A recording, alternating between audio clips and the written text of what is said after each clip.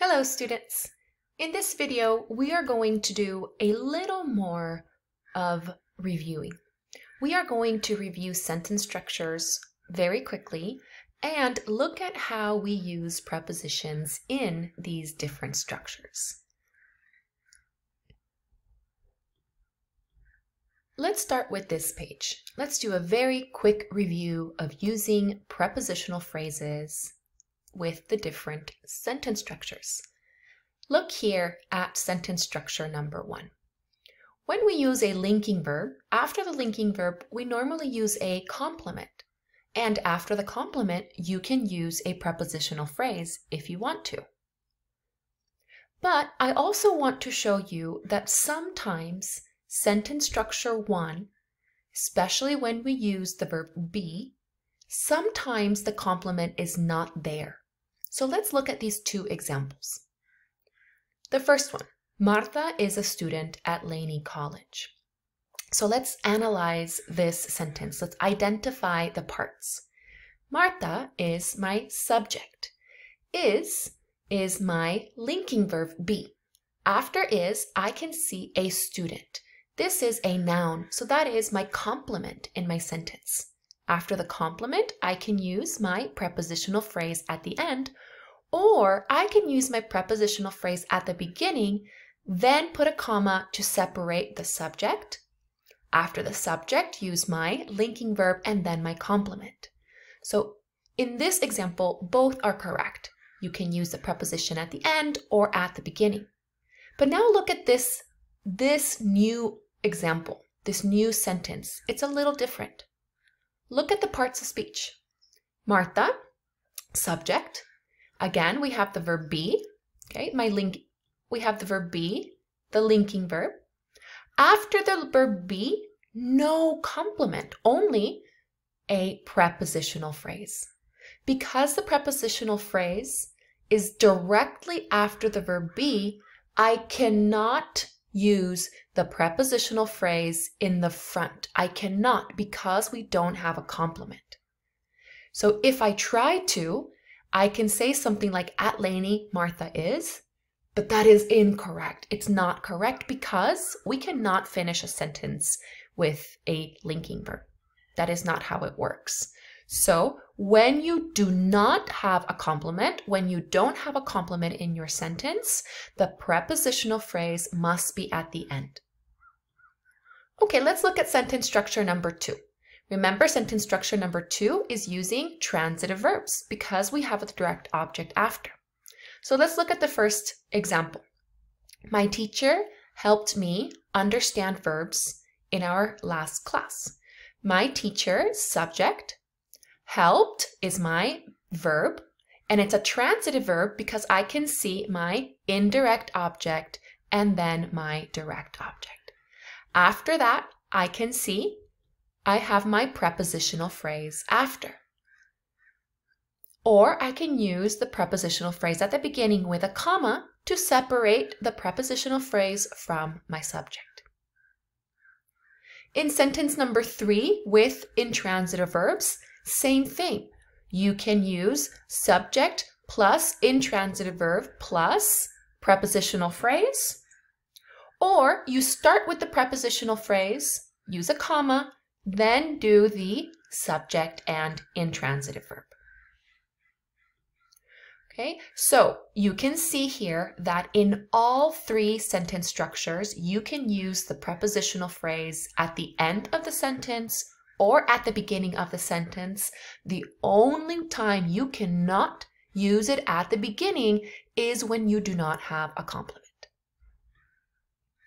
Okay, so now let's just review a little bit more about prepositions and the difference between some of these prepositions. So now let's start by making sure you understand the differences between the prepositions of place.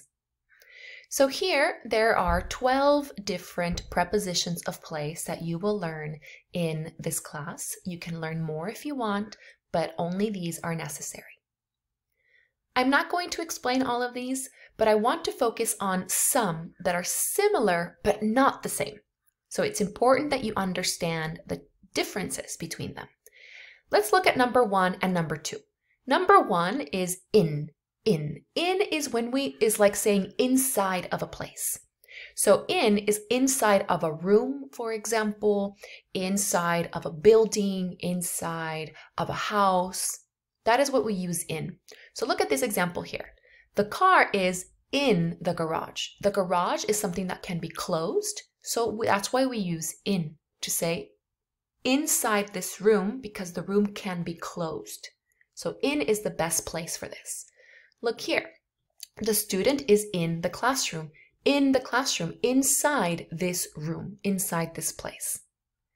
But at, at is very different. At is not inside of a room. It is just a general place. It means around that place. So for example, when we say something like the, the student is at school, at school, I don't know where at school. I don't know if the student is in the parking lot or in a classroom or in an office, in a bathroom. I don't know where the student is. I know the student is around school, close to school. So in the general area of school. So in is for inside places, at is for general places around that area.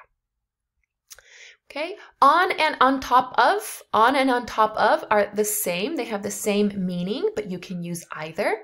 Okay, on means it is touching. So the milk is on, on top of the table. It's touching the table. All right, uh, the next one I want to take a look at is this one here, number eight. When you use between, you need to use a noun after between and, and then another noun after. So look at the example. Mike's watch, so we're talking about the watch. Where is the watch? Between a noun, the lamp, and a second noun, the book. So between the lamp and the book, is where the watch is. So when you use between, you use between plus noun, plus and plus noun. So let's do a little bit of practice. When we want to know the location, the preposition of place about something, we ask questions with where. Where. When we start the question with where, it means that the answer is a location. So look at this question here. Where are your shoes? We can use sentence structure one. My shoes are, so subject, linking verb, and then a prepositional phrase. So you can use sentence structure one to answer the question, or you can use sentence structure two. I, subject, keep, transitive verb, keep what? My shoes, direct object, where? Prepositional phrase, under my bed. So when we ask where, you want to give the location. So here you have 10 different questions that I want you to practice asking and answering. For example, where is your bed? You can say, my bed is in my bedroom. My bed is in front of the dresser. Okay, so please pause the video here, write down these 10 questions, and try answering these 10 questions using different prepositions of place. If you need help, use pages 56 and 57 in your book. Here are some example answers. Please pause the video here to see some possible answers. You can have other answers, that is okay, but here are just some examples that you can study from. Okay, now let's do a little bit of practice with prepositions of time. In this class, I want you to practice with four different prepositions of time. In is used for time of day or time of year. On is used for days, days of the week, weekends because days like Friday, Saturday, Sunday, and dates like holidays. Okay, at, at is for time, time, specific time like midnight, noon, 7.30, 8. And we also use it for night time.